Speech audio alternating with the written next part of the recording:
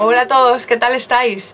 Bueno, yo hoy cansada y con calor, porque hace un calor aquí que no se puede entender que estemos en septiembre y que haga este calor aquí en Galicia. Pero bueno, bienvenido sea, que a mí me encanta el sol y la playa y para la semana ya va a llover, así que no importa.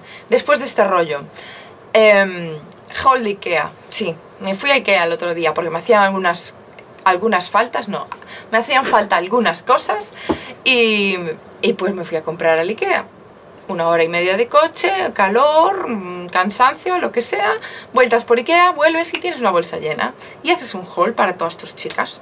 ¿Qué más queréis? ¿Qué más queréis? Bueno, vamos a empezar. Em, me compré esto, que es una cosa grande y transparente, que es esto, que eh, lo venden como protector de escritorios, un plástico de estos, un mantelillo de plástico transparente, que lo venden como protector de escritorio en la sección de cuartos en la zona de escritorios. Y, y, yo lo utilizo para las tartas, yo y más gente. Lo utilizamos para amasar el fondant encima porque es una superficie plana, no se pega, si se pega le echáis un poquito de azúcar. Y entonces lo uso para, para amasar el fondant, ¿vale? Entonces, pues eso, una superficie de estas guays más cosas. Compré casi todo para este tema de tartas y tal, así que igual soy un poco pesada. Igual soy un poco pesada si os digo que en el canal Patri Dulces veis todos los dulces que hago.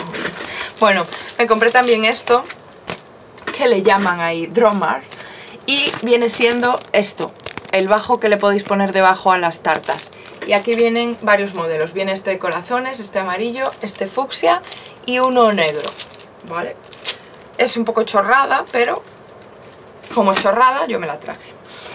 Y más cosas. Estos mantelitos son tipo el grande, el transparente, pero eh, más pequeños. Estos están en la sección de cocina, de cosas de cocina.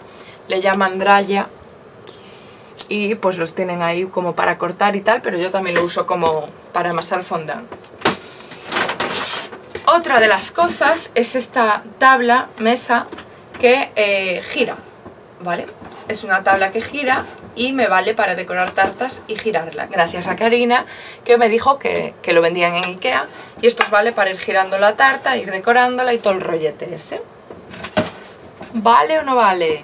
Más cosas. Velas. Esperar que me hundo aquí para coger las velas. Velas de vainilla en versión grande y en versión pequeña y millones de ellas. Me encantan, me encantan. Son las Tindra que huelen a vainilla. Muchísimo, huelen genial. Me traje estas y otras repes para, para Bibi. Me encanta, huelen muy bien. Y luego también me traje, gracias a, a gracias que eh, sacó en un vídeo o un blog, no sé dónde lo sacó, la verdad, creo que en un vídeo, eh, estos recipientes de Ikea para meter las brochas son unos recipientes normalitos pero súper bonitos y eh, en ellos pues metía primero bolitas para que las brochas no se hundan aquí en la miseria eh, metes unas bolitas y luego las brochas te quedan por aquí saliendo. Y como me parecieron tan súper monos y soy una copiona pues se los copié y me traje dos ¿vale? el nombre es el Skurar no sé quién le pondrá los nombres a esto de Ikea si queréis la referencia, eso es, ¿vale? Y estos son tiestos, son macetas, están en la zona de macetas, pero cada uno lo usa para lo que quiere y yo lo voy a usar para eso.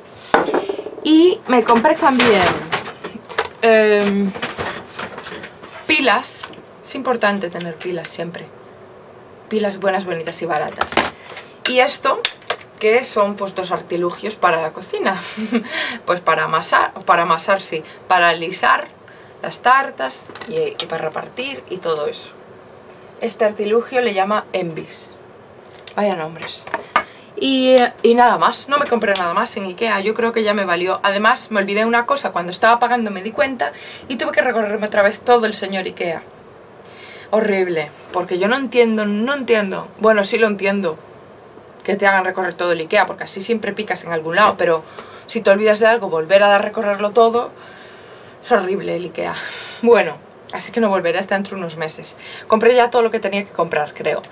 Así que nada, espero que os haya parecido interesante el haul de Ikea y nos vemos en el próximo vídeo.